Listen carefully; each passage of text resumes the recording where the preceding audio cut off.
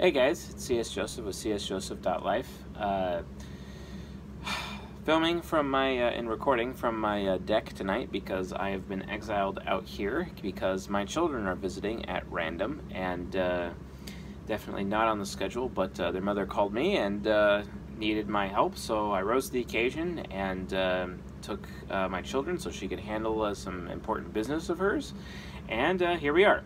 And if you also notice, that's also why I haven't put out a lecture, at least since Tuesday, because of how long it's been. But, I mean, hey, I'm here. I mean, I got my, like, deck light thing, and uh, it's kind of cool. I kind of like it. Uh, but uh, as far as, like, actually seeing my face, yeah, good luck. But that's okay. We're just more here to, like, actually hear me instead of, like, potentially uh, you know, see my face, as it were. So I'll do my best uh, with our really, really uber crappy lighting, but I didn't want any more days to go by without getting another lecture out. And besides, I mean, as long as you can kind of like mostly tell what I'm doing here or basically hear me, I'm sure we'll get through it, right? So, anyway.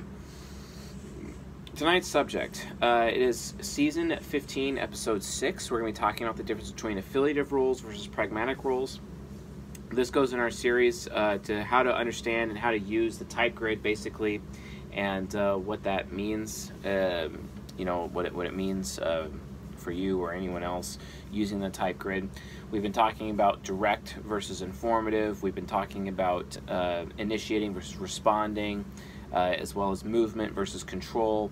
Each of these components are tools in our tool test in determining the interaction styles. Uh, we talked about earlier this week um,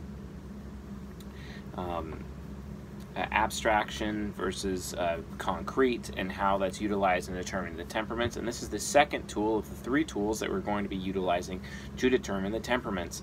And these tools are what it means to be affiliative and what it means to be pragmatic. So tonight's episode, we're going to be talking about the differences between being affiliative versus pragmatic and how that basically, you know, would make sense in that regard. Uh, so yeah, uh, affiliative versus uh, pragmatic. Now, before I begin, I want to actually do a little bit of a disclaimer here because I've been noticing some people have been struggling uh, with season 15 a little bit because of a lack of this disclaimer. So, uh, so the disclaimer is basically to talk about you know primary versus secondary, right? So, primary, uh, primary, secondary. So imagine like a yin and yang. Um, so you have the yang is the white part with the little black dot, which is a little yin in there because primarily yang is all about you know the what's firm uh, whereas what's pliable is yin but it has the secondary trait of the yin in the primary side of the yang whereas the other side of the yin has the secondary trait of the yang.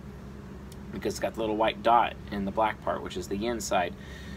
Why is this relevant? Well it's relevant because when you look at the four sides of the mind essentially uh, when it looks like when, you, when you're looking at uh, the four sides of the mind in the four sides of the mind, you have uh, the ego, you have the subconscious, you have the uh, unconscious, and you have the superego. Okay, the four sides of the mind. Now, the subconscious specifically, the subconscious uh, is also known as the anima and the animus. And the anima and the animus is always uh, the opposite gender of what your ego is. So if you're if you're a um, if you are a member of the, uh, um, you know, biologically you are a male, right? Then uh, mentally, you know, you would uh, have, you know, your subconscious would actually be female, you know, and, and it's and it's the other way around for like women. Uh, they have, uh, you know, male subconscious. So everyone actually has secondary male or female traits versus like their primary female uh, male traits. Now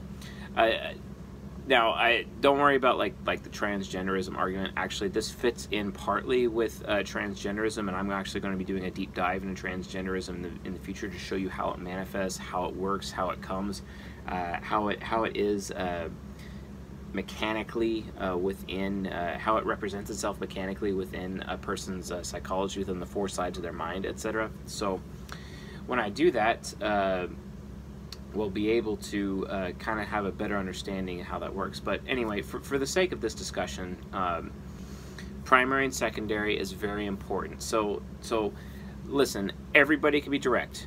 Everyone can be informative. Everyone can be movement, everyone can be control, everyone can be initiating, everyone is responding, everyone is abstract, everyone is concrete, everyone is affiliative, everyone is pragmatic, and then there's the third uh, tool which we'll be talking about in our next lecture within this series as well. But everyone has all of these traits. There isn't anyone that doesn't have any of these traits. So you have to understand everybody has these traits. Now, it's just which of these traits do they use primarily. It's all about primary versus secondary, right? Because some of these traits are used primarily, and some, so half these traits are used primarily, the other half are used secondarily, right? So why is that? Because when someone's in their ego, they're primarily in their ego, and we're looking at what traits are being used by their ego. So if these traits are used primarily, it's what's being used by their ego because we're trying to identify their ego. That's what the type grid is all about. You're identifying their ego, right?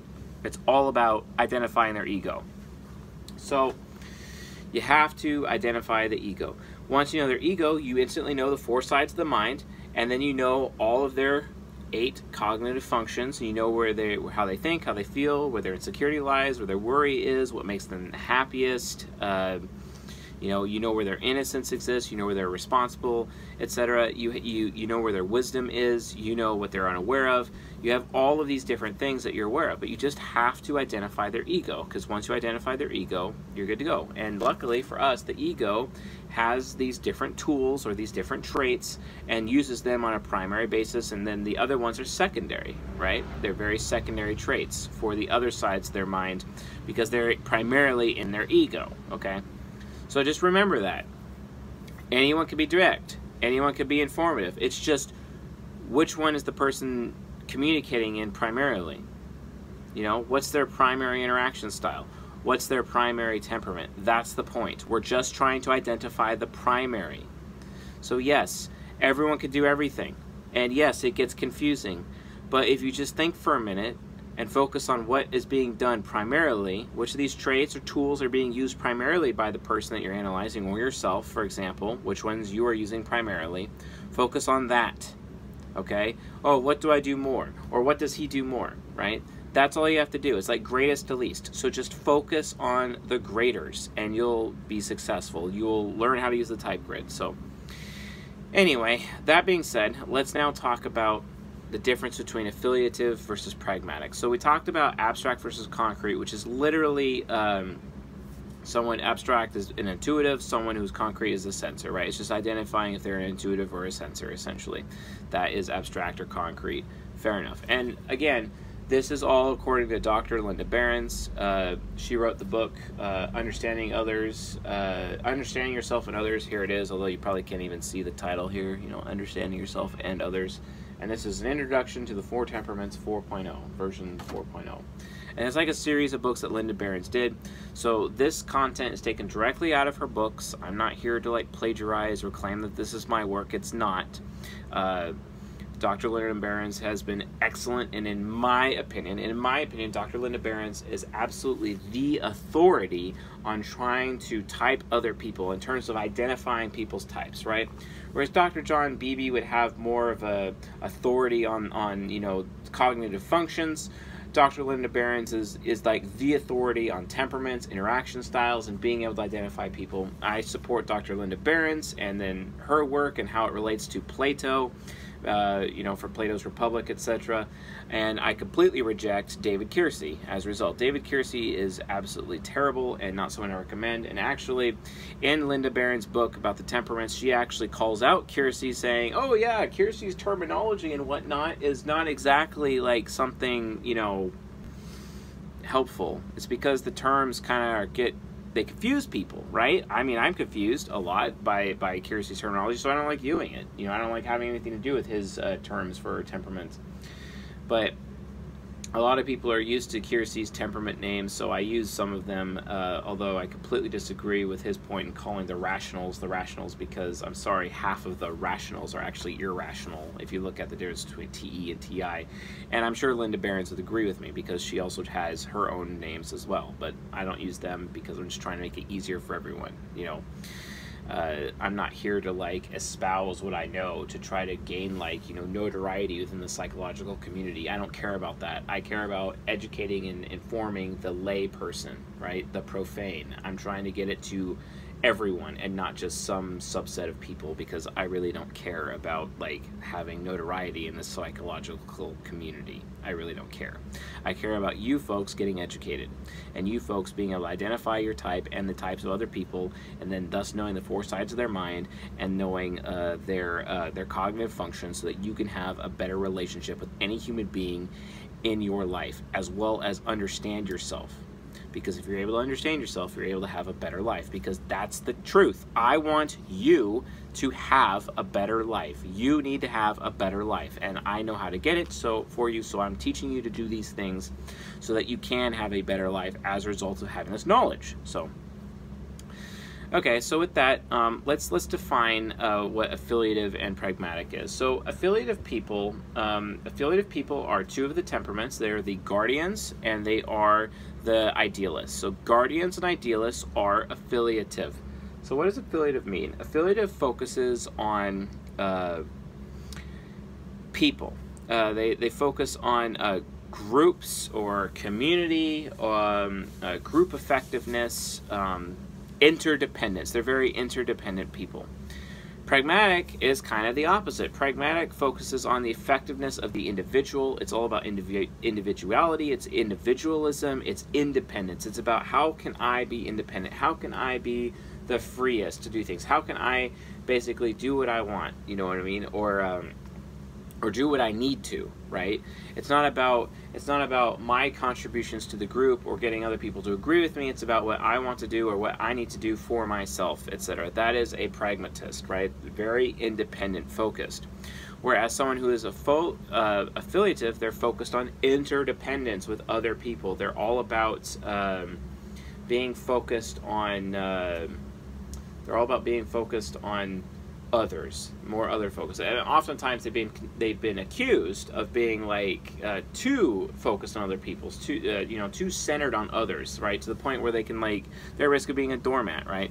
Although yes, some types are even way more doormatish, and that's an INTP. Oh wait, that would mean like you know the INTP is pragmatic though. Yes, primarily, but their secondary uh, side of their mind, their ESFJ subconscious is very affiliative, right? And that's where the doormat uh, behavior could potentially come in. You see what I'm saying here?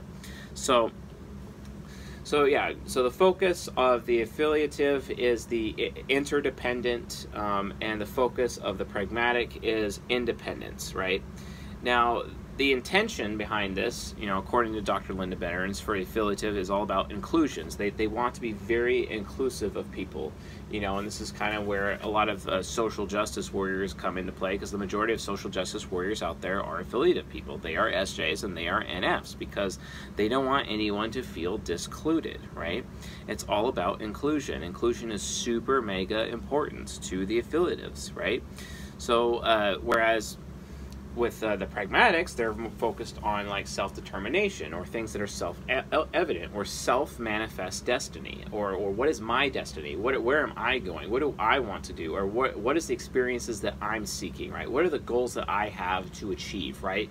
It's all about excellence and personal achievement, right? From the pragmatic point of view. So yeah, that's where you get the SPs and the NTs out there, the artisans, the intellectuals of the world who are focused on being autonomous and uh, they're, they're seeking outcomes and they want to be able to make decisions that causes them to reach those outcomes or those goals faster right?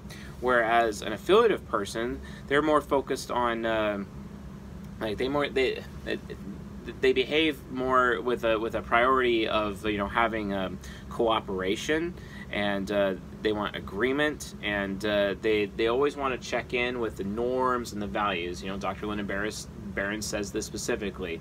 Um, being affiliative is all about checking in with the norms or the social values or the social norms of the group or the community or the collective or uh, the area that they're with or with the family. It's always it's always a group thing or it could be like a study group at school for example or the classroom. It doesn't matter. Just whatever group setting right whereas the pragmatics are trying to be as autonomous as possible, right? That's the other side. So if you have someone in your family or if you yourself are very autonomous, chances are they are pragmatic, chances are they are an SP or an NT. Or if they're more focused on getting cooperation or agreement with people, uh, then they're more, you know, affiliative. So now they they have different, you know, like they could be taken, you know, they could be in their comfort zone or out of their comfort zone and um, Linda Berens also states that uh, affiliatives need they need like defined roles, right? It, it's all about having defined roles, and they need people getting along or cooperating. If if you're in a social situation where there are people not getting along or they're not cooperating, the affiliative people will literally be triggered. Like they will be triggered, not even able to like handle it, like super triggered, right? So that presents that presents a problem, you know, because of how triggered they are. Uh, and they need to have that harmony, they need to have that cohesivity, that cohesiveness within the group. Everyone needs to get along, everyone needs to be cooperating, everyone needs to be sharing. Sharing is a big part of being affiliative. Pragmatic it's kind of the other way around. The pragmatic needs to be have the room to you know engage in taking initiative, getting things done on their own, uh, being who they are on their own, and uh, they they want to be able to have the freedom to take these actions regardless of what roles they may have attached to them because roles are kind of arbitrary to the pragmatic. Because the pragmatic's like look i need to be rewarded based on excellence and not my role right here's another way of looking at it. When you're in an organization, let's say for a job or whatnot, and you have people that are rewarded for like time served, you know, and they're promoted based on how much time they served on the company instead of being like promoted based on who's the most effective worker or who has the, the most achievement, who has the most merit, right? Pragmatics focus on merit, right? SPs and NTs care about merit. Pragmat- pragmatism is all about merit. Whereas with affiliative, it's actually more focused on time served per se, right? Because, oh, you put in so much time for the group, we want to reward you for that. Whereas the pragmatic's like, wow, that guy is actually like, he has no merit and he doesn't deserve that because I'm way better at that job than he is and I should have gotten that promotion. But because he's been here an extra five years more than I did, he has seniority over me, so that means he gets to have that job. That's bullshit. Like, how does that even work? Okay, so again, it's the difference between affiliative versus pragmatic because pragmatic is focused on merit because they, they having excellence in performance, right? Um, you know, that, that's that's direct out of Dr. Linda Berens' books. Uh, she talks about excellence in performance for pragmatics. It's very important. So. Uh, so a couple of things about affiliative people: they get very uneasy when people don't work together. Uh, they get frustrated uh, by what seems to be a lack of cooperation. They get surprised when people don't like uh, having roles foisted upon them, especially with SPs and NTs. Although SPs, because they're concrete like them, they can kind of deal with that. But when it comes to abstract types like NTs, it just absolutely triggers them. It absolutely triggers them, especially on the SJ side.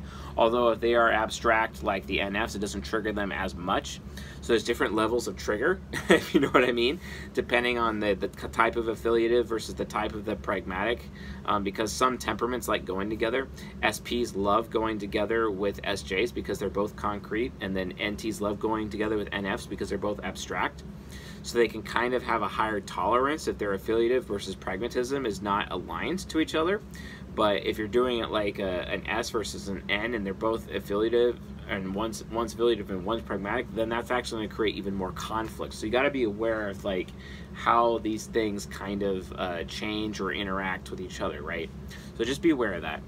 Uh, so um, so like uh, the pragmatics, for example, they um, they get they get they get really uneasy when things are decided for them when decisions are made or like when they have roles foisted upon them. It, it makes them feel like their, their their their independence or their personal sovereignty is being threatened right? And we know i talk a lot about personal sovereignty. And personal sovereignty is a very primary thing for pragmatic types. It's very primary for sps and nts it's kind of a secondary thing for nfs and sjs guardians and uh, and idealists. Um, so guardians being SJs, idealists being NFs. Um, it's a secondary thing, personal sovereignty. it's still a priority. It's just not as important. They're, they're, they're more they more care about you know the group or the family as it were. But then again, they also would recognize that the sovereignty is more attached to the group than necessarily the individual. Whereas the pragmatics disagree. The sovereignty would be attached more to the individual. Although from a hu- that's that's more human nature. From a human nurture standpoint, everyone should be responsible for their own personal sovereignty because personal sovereignty leads to self-respect. Because if you have self-respect, you could basically get anywhere in life, right? Because self-respect, having self-respect is wise, right? And you want to have all the wisdom that you could possibly get because if you have wisdom, you can have anything you want. If someone was going to offer me 10 billion dollars right now, or uh, or like a bunch of wisdom, what would I take? I would take the wisdom because if I have all the wisdom in the world, guess what? That means I could actually get that 10 billion, if not more than 10 billion, as a result of having that wisdom in my life, right? Instead of just being handed money. That's why the people who work for their money end up keeping their money, but people who are given money, especially like in the lottery, they end up addicted to drugs or in jail or dead statistically. So it's like, okay, wow, that's that's really good, I guess. Or even like jail time too, you know. Pragmatic people don't like obstacles and they don't like roadblocks getting in the way. And sometimes they actually see roles or even affiliative people or the group itself as a roadblock. For example, uh, you know, someone studying in college or in a study group in a school and they're doing like a group project. And oftentimes the pragmatic person looks at the other people like, all oh, these people are going to slow me down. They're actually going to get me, I'm going to end up having a lower grade because of them and whatnot or the uh, the the affiliatives in that group setting are like, wow, this pragmatic person is just going to make our grade go down because he's not cooperating with us. That lack of cooperation is going to continue to cause a problem, and it's going to be even more dramatic here, here, and here, and here, and here. And it's like, holy crap, what are we going to do? You know what I mean? And it's like, okay, wait a minute, but who's right? Who's right? Is the affiliative person right? No. Is the pragmatic person right? No. See, they're all wrong, or they're both right. See, it's not it's not about that. It's about so you have to interact with people. You have to you have to respect the affiliative and as much as you have to respect the pragmatic and you have to recognize that there are affiliative people and that there are pragmatic people.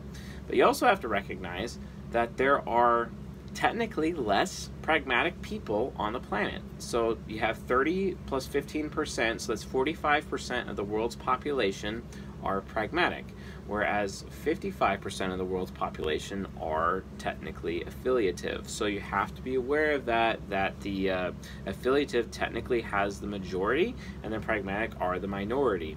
But you still have to respect both. And I would challenge the affiliatives to respect the pragmatics more because they have the majority, right? And it's not necessarily fair to the pragmatics, you know you get uh, you get people like Gandhi, uh, Jesus Christ, uh, Martin Luther King. Those are very affiliative individuals, right? But uh, you get pragmatic people like Benjamin Franklin, right? He's very pragmatic, or or Nikola Tesla, right? He's very pragmatic. So it's as a result of them being so pragmatic that they were able to have the success they were. But the other guys, they were very successful with what they were because of how affiliative they are. So again, it's just two sides of the same coin. Almost, they're able to get to where they're going, or get their agenda handled, or their goals met. As a result, um, there's just different ways of going about doing it. One focuses on the group and, and cooperation and agreement, while the other focuses on the individual. Right it's kind of you know and if we want to talk about extremes we could talk about political extremes we could talk about uh, ooh communism or or ooh randian objectivism whereas communism is all about the commune. I mean it seems that way at least. And then there's randian objectivism which focuses on the individual and the power of the individual and the power of individual and which could be seen as overtly selfish or way too selfish. For example you know i mean Ayn Rand herself was a pragmatic because she was an INTJ right? Because she's an NT so so be aware of that. Uh, um, so uh, affiliatives can be like seen, you know, as way too focused on other people, uh, potentially at risk of being a doormat. Uh, pragmatics can be seen as way too self-centered, way too selfish, way too independent. Uh, you know, not willing to work with others, do not work well with others, etc. You know, that could be potentially an issue. Um, uh, and uh, pragmatic people kind of sometimes get surprised when they're uh, when other people are offended offended at how independent they are you know whereas you know like I said affiliatives get surprised when people don't like receiving roles and they get frustrated on roles uh, you know being foisted upon them or when people have a lack of uh, cooperation. So and, another way to look at um, affiliative versus pragmatic and, and I've always enjoyed this um, So uh, this is one way that you can actually like uh, be aware of um, you know some of the um, ways of uh, you know so, uh, like a practical example. A practical example or a practical model that you could use uh, in determining if someone is like affiliative versus pragmatic. And here it is. It's it's an old saying so. Or it's um, it I don't know maybe a precept or it goes like this you know. Never ask forgiveness always ask for permission right? Or always ask forgiveness but never ask permission right? So think about that. A pragmatic person always seeks to ask forgiveness, never asking permission. They take action. They take the initiative. They make they just make it happen regardless of the consequences because they know and believe in themselves that yes, this is the right thing for me to do. I am going to do it. I do not need to ask these people for permission to do the right thing. I am going to do the right thing. They can get over it. And then after I've done the right thing and after I've proven that it works and my idea works and I am correct, then I'll ask them forgiveness as a result, right? I would have to do this all the time, especially with affiliated people, especially when I played EVE Online, for example. I was in this alliance called Northern Coalition. I was even in this alliance called Goonswarm as well. And um, this is back when I played video games. Instead of playing video games, I do a YouTube channel instead, if you know what I mean. Because I don't have time for video games anymore. Like, I have to be a man, I have responsibilities, you know, a career, uh, I have a father, and I have to focus on my health. And I'm here educating you folks on YouTube and on my podcast so that we can continue to uh, help people understand themselves and each other just like Dr. Linda Berens does. Anyway, when I was playing games, you know, I I would often make decisions without asking uh, authority figures for permission because, for one, I believed that those authority figures were roadblocks themselves. Like they took too long to decide anything. It's kind of like that. Uh, it's kind of like that movie, um, Spies Like Us, uh, with Dan Aykroyd and uh, Chevy Chase. That's a great film. If you've never watched Spies Like Us, you should definitely uh, watch Spies like, uh, like Us. And for some reason, anytime I think of that movie, I think of two scenes. The the one scene with the hot chick, the hot Russian chick, and the uh, the other the other scene uh, where where he's talking about, you know, okay, well, we have 20 minutes before this nuclear uh, missile goes off and then uh, they'll then then Washington will need an additional 20 minutes to, to make a decision. And it's like, yeah, it's because they're very they're affiliative. They're they're waiting on the group consensus to make their decision because they're they're allowing affiliative authoritarian authoritarian point of view to uh, make the decision, right? I'm not going to do that. I'm just going to make the decision on my own because I know it's the right thing to do. And then after I've implemented it, then I'll talk to the authority figures and I'll ask them forgiveness after the fact because I've already proved that it works. Whereas I know that if I went to them and asked them permission, they're just going to tell me no right off the bat. So I'm not even going to do that. I'm not even going to give them the chance to tell me no and then be like, well, we told you no. No, no, no. I'm just going to do it and just be like, oh, well, you didn't tell me I couldn't do it, right? See, that's a very pragmatic point of view. Affiliative is the opposite. Affiliative will always ask permission. That's the issue. They will always ask permission ahead of time, right? So you just got to be aware, you know, of that difference with affiliative. Uh, another another another political example also of uh, affiliative versus pragmatic. If you have like a, a cube, uh, or no, or a, or it's, it's it's a square broken up into four subsquares, and on the top you have authoritarian, and at the bottom you have libertarian. So you have the authoritarian left, and then you have the authoritarian right. Then you have the libertarian left, and the uh, libertarian right. And it's where on this grid of four does anyone do? They, they, they like take this test and they end up on one of these things, and then sometimes they're centrists or whatever. But uh, affiliative people would test typically authoritarian. If it's like authoritarian left or authoritarian right, whatever, I don't care, but they would be authoritarian because they're very authority based. You ask permission first and you give people the power to make rules and you ask permission if you can like potentially bend or break a rule or amend rules or whatever. Whereas libertarian is more pragmatic approach. The pragmatic folk would actually test as libertarian left or libertarian right, for example. This is this is this is typically now. Of course, there are some SJs that do test libertarian left or right because they've developed their own personal philosophy, or they're more harmonized within you know or integrated between the four sides of their mind. Yes, there are people that test differently. I'm just saying in general, people who are affiliative prefer authoritarian, and people who are pragmatic prefer libertarian, right? That that's just that's just kind of a difference. And so and that and the majority of people prefer authoritarian, and the minority of people prefer libertarian. That's just how it works. So anyway, um, just remember affiliative focuses on interdependence and uh, you know community and being about the group and the and the and the effectiveness of the group and inclusion whereas the pragmatic is focused on what on being independent. It's on about being freedom and having freedom uh, like free to do things and it's about effectiveness it's about excellence it's about merit it's about self-determination or having autonomy etc so when you're looking at somebody you need to find out their type you know you just like okay is this guy pragmatic or is he uh, affiliative? And then you, you go through all of these uh, different things and you, these different traits you could find out okay yes he's pragmatic okay yes he's affiliative. So so let's do an example on the type grid. Um, let's say you're, you're dating some girl, you want to know if you're compatible with her and whatnot, and uh, you know, you're going out on a first date, and you're like, okay, yeah, she's very direct and she's very movement. Um, so okay, she, uh, so she's definitely chart the course automatically. So okay, yeah, now I know she's an introvert because uh, she's chart the course. Also known as see it through or finisher type. So she's either an ISTJ, an ISTP, an INTJ, or an INFJ. Okay, and you know, me in this example, let's say I was dating this woman, and I would be an ESTP in this example. So and uh, and then I talked to her more, and then I realized that she's very concrete. So I've eliminated INFJ and INTJ from that. I'm like, oh, thank God. So she could either be an ISTP or an ISTJ. Which one? Okay, so one of them is pragmatic, one of them is affiliative.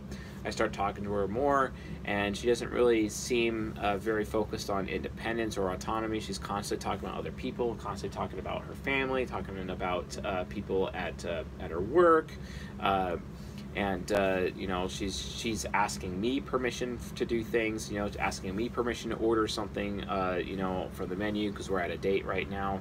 Uh, and she seems very interdependent like okay yeah so she is actually affiliative which means she's an sj so uh, there go i know she's an istj and thank god she's an istj because that's super high compatible with an I- estp and i could definitely see this relationship working for the long term.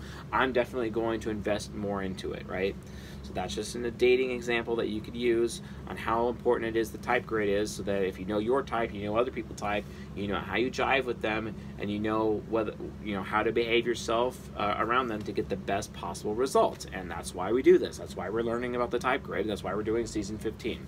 And which, by the way, if you're watching season 15 and you haven't watched season 2, I recommend you watch season 2 because, or listen to season 2 because season 2 provides the foundation that we have for the type grid so that once you have that foundation, kind of that uh, more general uh, level, and then you get into season 15, this is more of like the deep, uh, we're getting into the weeds, right? Whereas the, the season 2 is like the forest, if that makes sense. So, anyway.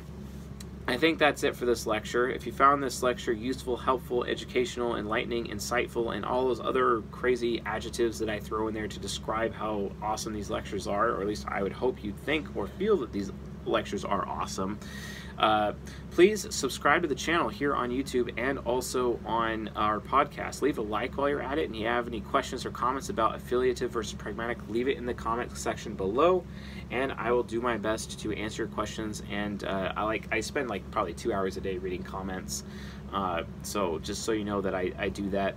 Although I don't get 100% of the comments because sometimes I actually have to go back to some of the videos themselves and then scroll down to look at all of them because for some reason YouTube doesn't give me an alert for every single comment.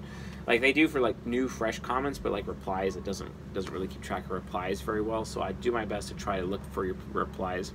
Also, if you've not joined our Discord server yet, please do. We're going to be having another Q&A session coming up here pretty soon after I get back from the East Coast because I'm flying to the East Coast next week. I'm going to be in Ohio.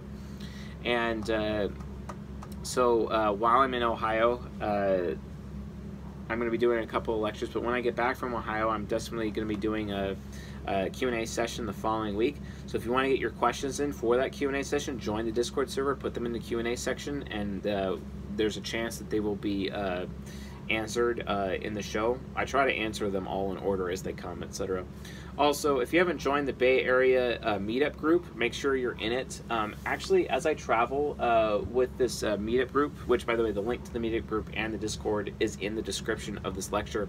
Uh, if uh, the as I travel, I'm actually going to be scheduling meetups in various uh, locations. Um, as I travel so that uh, we could have like meetups while I'm like out of town too. So look for those. I'll be talking about them, at least announcing them on the Discord server. So that's another reason for you to get on the Discord server in case there's like a meetup that's scheduled and you don't want to miss it and it's in your area.